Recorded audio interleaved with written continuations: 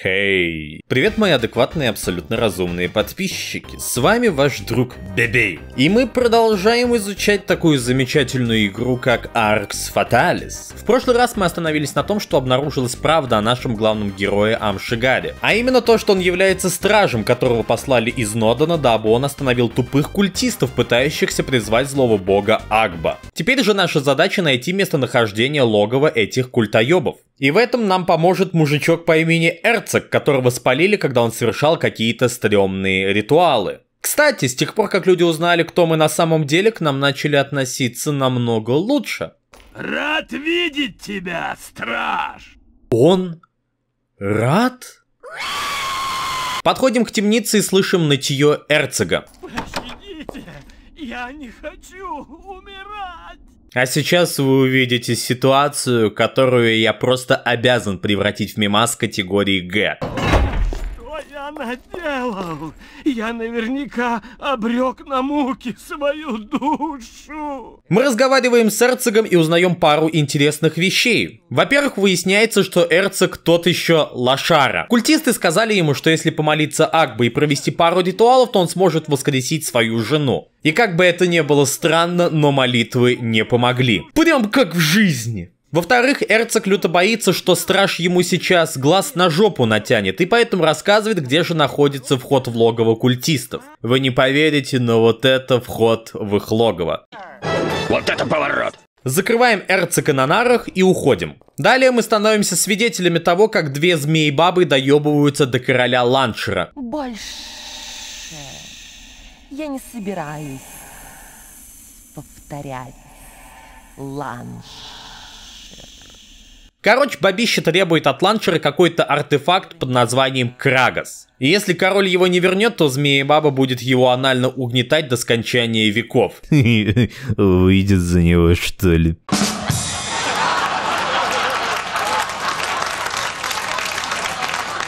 Ланчер говорит, что это не просто так, как бутовщики спиздили артефакт 20 лет назад, а в дополнение к этому убили его дочку и жену. Змейки уходят, и мы разговариваем с Ланчером лично. Ничего не понимаю.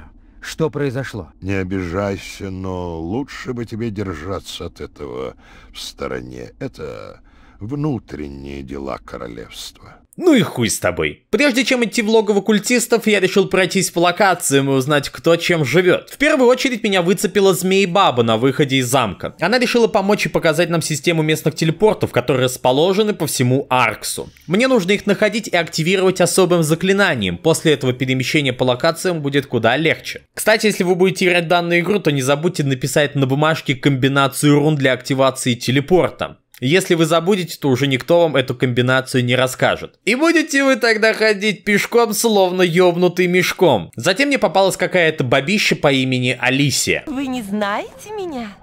Я Алисия. И банкир Гарри мой жених. Скоро мы поженимся. И я буду так же богата и влиятельна, как красиво. Да, конечно. Вы работаете с ним? Работать? Как простолюдинка?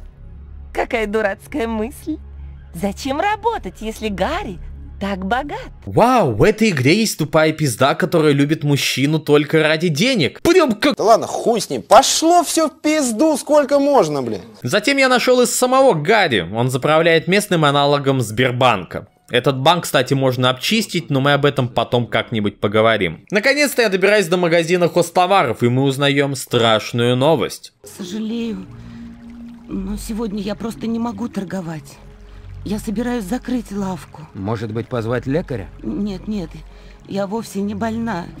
Это все моя дочурка Шани. Девочка Шани пропала, а у государства нет времени, чтобы ее искать. Поэтому женщина умоляет нас помочь найти девочку. Вообще, когда я в первый раз проходил эту игру по пиздюковке, я подумал, что Шани в край ебанулась и залезла слишком глубоко в крипту. Но о том, что случилось на самом деле, мы узнаем позже. А пока что заносим этот квест в дневничок и идем дальше. Поскольку логово культистов то еще местечко, я решил немного походить туда-сюда, пособирать разный лут и выполнить пару сайт-квестов, дабы стать сильнее. Для этого я сначала сходил в кристальные пещеры, которые находятся между королевством гоблинов и королевством людей. Тут находится лютомерзкий отвратительный паук. Вы только посмотрите, какой он урод!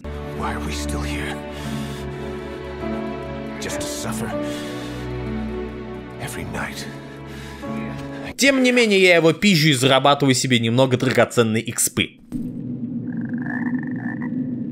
Кстати, вы, наверное, не знаете, но Arx Fatalis не особо популярная игра. Да ладно! И в частности потому, что она страшная, шо пиздец. Вот представьте себе. Купили вы такие себе диск с игрой, потому что барыга на рынке сказал, мол, это такая классная ролевая игра, вот прям ходишь аки рыцарь и нагибаешь всех вокруг. И вот ты уже готов быть подземным паладином, но ехидная атмосфера темных подземелий так не думает.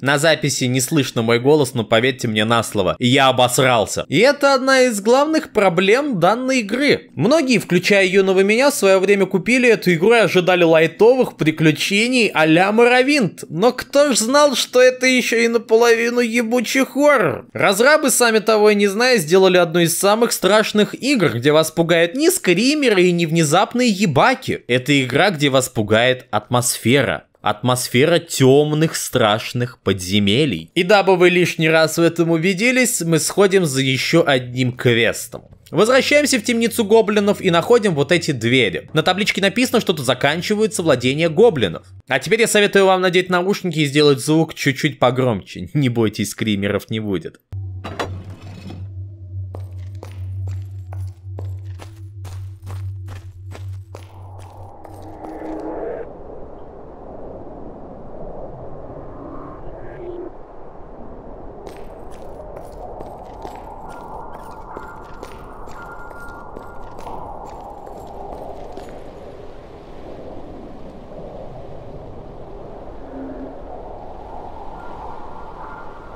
Классно, да? В этих пещерах мы находим рыбачащего тролля по имени Грю. Грю рассказывает, что не хочет работать на гоблинов, ибо считает их мерзкими, мелкими, хитрыми пиздоболами. Он больше предпочитает уединенную жизнь в этих пещерах, где он сможет спокойно жить, кушать рыбку и не работать. Также он рассказывает, что любит делать музыку и статуи. Грю является художником. Вы хоть понимаете, что это значит? Грю первый в мире тролль Сыч не такой, как все. И только попробуйте сказать, что это не прям как в жизни. Сыч говорит, что у него сегодня день рождения и совсем нет друзей, которые могли бы его поздравить. И только попробуйте сказать, что это не прям как в жизни. Тут же Амшигар предлагает Грю стать его другом. Я хотел бы подружиться с тобой. Правда? Твоя хотеть быть друг для Грю? Моя новый друг. Здорово.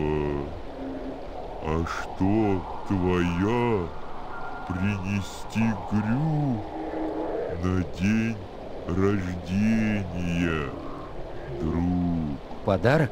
Сейчас посмотрим. И вы не поверите, но это новый квест. Эпичный и героический. Отправляемся в пещеры троллей и находим там Бурваку. Тот рассказывает, что Грю всю жизнь жил под землей и был бы рад узнать, как выглядела раньше поверхность. Однако вся земля покрыта снегом, и у Грю нет возможности лицезреть травку и солнышко. Поэтому мы отправляемся в библиотеку Змеи Бабы и просим у нее книгу с картинками. Вот книга, которую ты ищешь. Можешь забрать ее себе. Именно эта книга и станет отличным подарком для Грю. Все, анимешник, держи свою мангу на день рождения. Как тебе это понравится? О, да. Грю такое люби. Твоя замечательный. Твоя лучшая друг Грю.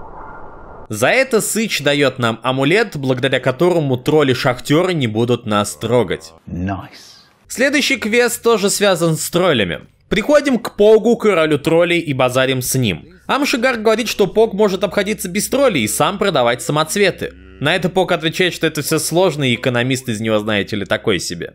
Хе! И сейчас вы увидите, как я очень ловко переверну всю систему и сломаю гоблинские духовные скрепы. Находим в королевстве людей дом банкира Гарри и пиздим его книгу про финансы. Отдаем Погу и вуаля, дело сделано. Пог теперь будет сам торговать самоцветами, а нам еще и скидочку сделает. Правда, теперь я окончательно испортил отношения с гоблинами. И во время его следующего визита они все, включая вождя, набросятся на меня. Я, конечно, всех с легкостью убил, ибо стал здоровым, как пельмень. Ну все, я прокачался, экипировался, можете заценить мой новый fashion. Самое время идти и штурмовать очко сатанистов. Прохожу через заставу, тут, кстати, все живы и здоровы, можете не переживать. И иду в таверну. Тут я общаюсь с Польсием и узнаю, что гоблины втихую продавали жрецам Агба людей. Польси сказал вождю гоблинов, что это не их метод, за что тот и запер его в тюрячку. Такие дела. Я стучусь в дверь и говорю пароль, который мне рассказал Эрцог. За дверью стоит какой-то Стэтхэм, но нам пока что его лучше не трогать. Я вас категорически приветствую. Теперь вы в логове сатанистов, и тут начинается самое веселое. Это место просто кишит кучей ебанутых полумагов-полупидоров, которые будут нападать на нас при первой же возможности. Также тут есть головоломки уровня Б, но о них чуть позже.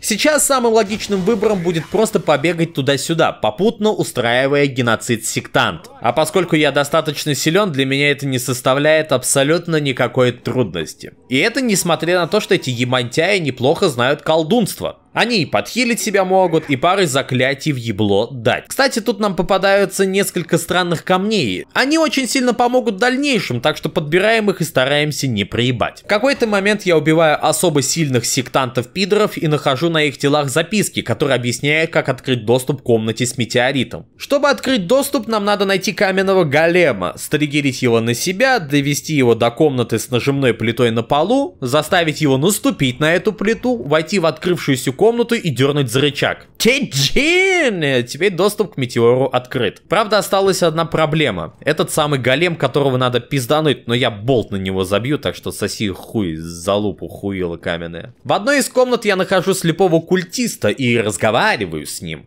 Он думает, что мы брат Шигар и говорит нам. Брат Шигар, как же плохо, что люди такие хуесосы и не верят Агба. Ведь он такой сасный и всех спасет нас от этого ужасного снега на поверхности. Наши дети будут бегать туда-сюда, играть в травки, ух! Да, круто-круто.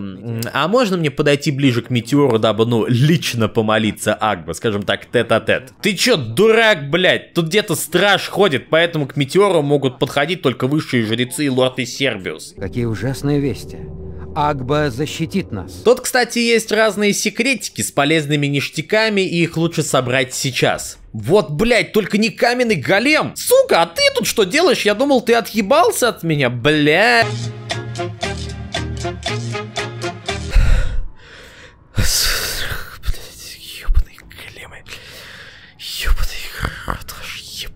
Оу май, еще один секретик. Так, что тут написано? Пусть тот, кто... бе бе Понятно, херня какая-то. О, Лутецкий. Сука, что за херня? Как, как, какого? Он, он, он меня парализовал. Чего, блядь? Сдохни, тварь! Блять, ёбаная игра, хватит меня мучить. В итоге я дошел до прохода, который надо было открыть, и твою мать, это что, кровь? Мясо? Я словно по фаршу хожу. Вы больны? Что вообще тут происходит? Это типа нормально? Где гуманизм? И тут мы, пожалуй, сделаем одну маленькую паузу, дабы я сказал вам одну вещь. Чем дальше мы играем, тем криповее и ебанутее становится эта игра. Скоро вы начнете забывать шуточки про булки, троллей, алкашей. Игра все сильнее углубляется в ужас и выворачивает наизнанку такое понятие, как темное фэнтези. Мы идем дальше и обнаруживаем лорда и Сербиуса, а за ним метеорит Кольтк и какую-то бабу. Страж, твое присутствие большая отрада для нас. Значит, у нас и впрямь хватит сил, чтобы призвать сюда Агба во всем его величии. А мы с тобой, радость моя, продолжим нашу церемонию позже. Затем и Сербиус убегает и призывает на помощь Ебаку из игры Warhammer или чего-то подобного. Демон, конечно, криповатый, особенно из-за его вот этого сосательного рта, из-за чего он мне немного напоминает блогеров, а, но битва с ним не особо сложная, знаете ли, да. Мы с легкостью убиваем демона и освобождаем даму. О, будь благословен, путник. Не знаю, кто ты, но сегодня у тебя стало на одного друга больше. Агба придется поискать добычу в другом месте. Я не забуду этого, обещаю. Теперь нам надо коснуться метеорита, но тут случается твист. И вместо того, чтобы уничтожить метеорит, мы ничего не можем сделать.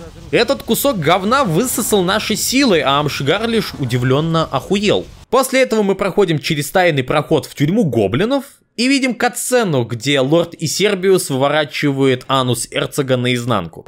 Пощадите, господин, он угрожал мне. Пощадите. Ну-ну, Эрцог. Ты же прекрасно знаешь, что каждый из нас должен сделать все, на что способен. Не отчаивайся. Твоя скромная жертва не будет напрасной.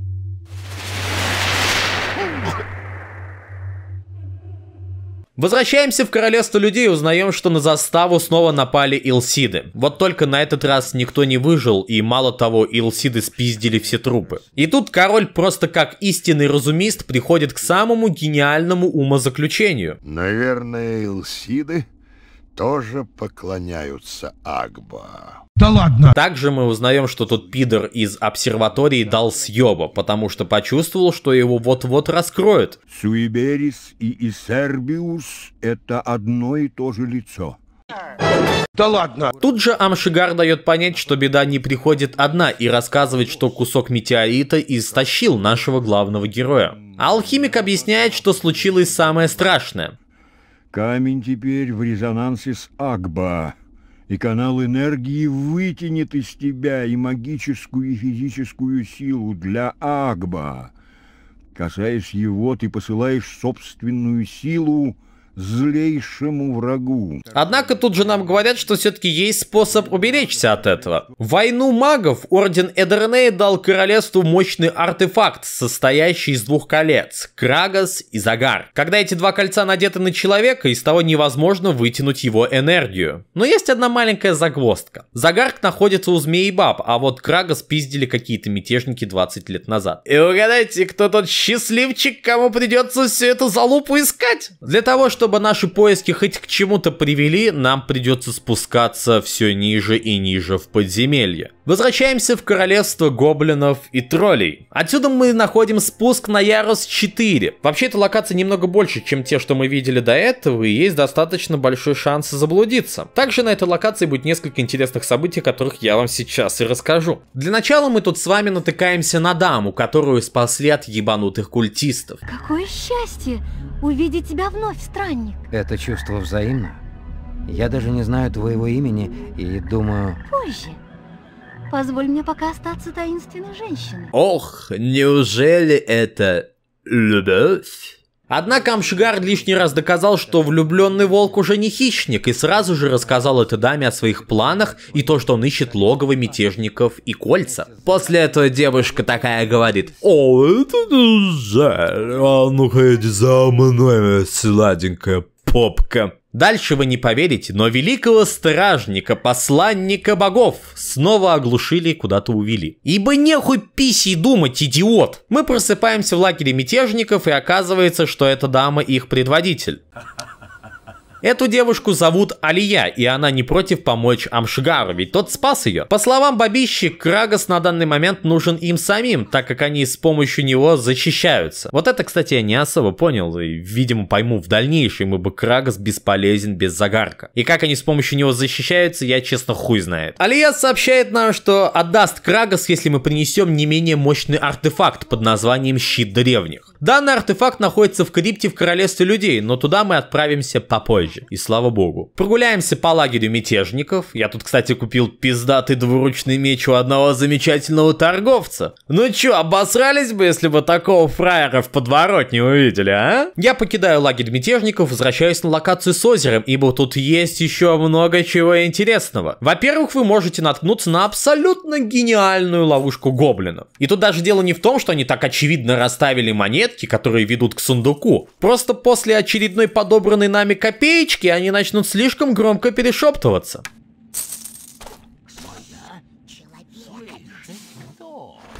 А когда я открою сам сундук, на меня нападут три дохлых гоблина, которые будут зарезаны мной просто на изи. Во-вторых, тут можно случайно наткнуться на тайный вход в логово змей-баб. И поверьте мне, ничем хорошим это не кончится. Ибо змей-бабы не любят, когда к ним заходят сзади.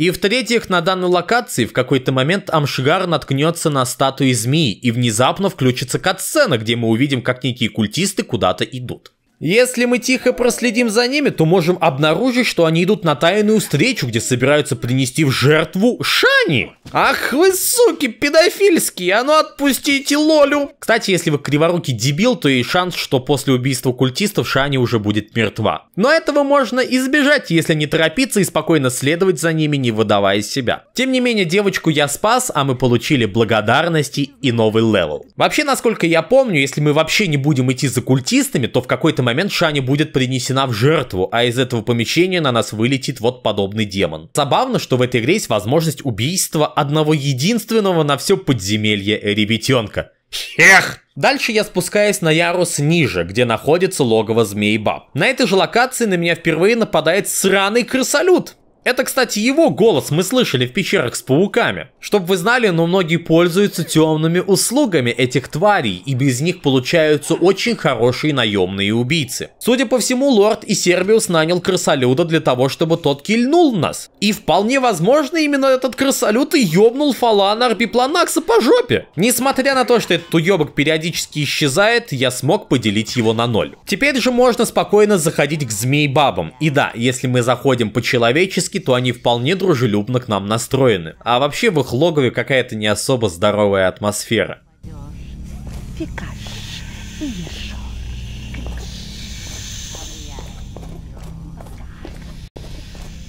Жутко, да? Находим их предводительницу Великую Мать. В разговоре с ней мы даем понять, что Загарк нам очень даже необходим, ведь Амшигар единственный, кто может уничтожить метеорит и остановить Агба. Старшая змей-баба согласна с этим, но также замечает, что нам нужно показать, достойны ли мы получить этот артефакт, а то мало ли, вдруг Амшигар хуй мразь. Чтобы получить кольцо, нам надо пройти особые испытания, которые я называю не иначе, как испытание разумизма.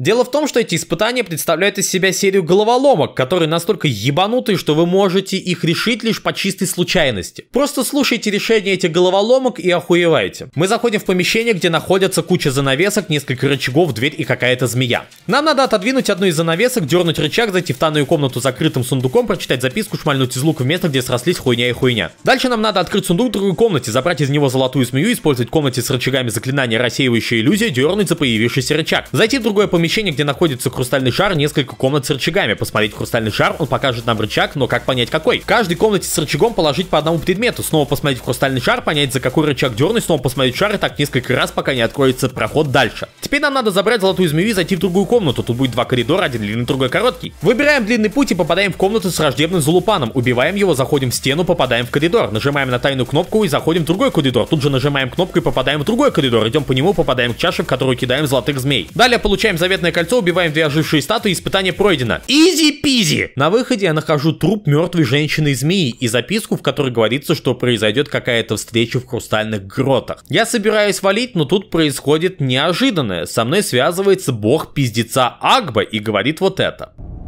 Страж! Мое воплощение в Арксе ничто уже не остановит. Слишком поздно. Но почему мы должны быть врагами? Присоединяйся. Ты, как и я, пленник Нодена, и лишь я волен освободить тебя. Не предавай же свободу. Что проку быть рабом в Нодене, если мы можем вместе, как боги, править миром? Иди со мной, страж, И я обещаю тебе власть, о коей ты не мечтал. Да уж, гром задира уже не тот. На этом данное видео заканчивается, мои дорогие друзья. Как вы могли заметить, градус ужаса и пиздеца в этой игре становится все больше и больше. Поэтому следующее видео будет посвящено одному из самых пиздецовых моментов в игре. До скорых встреч, дорогие друзья. Пока.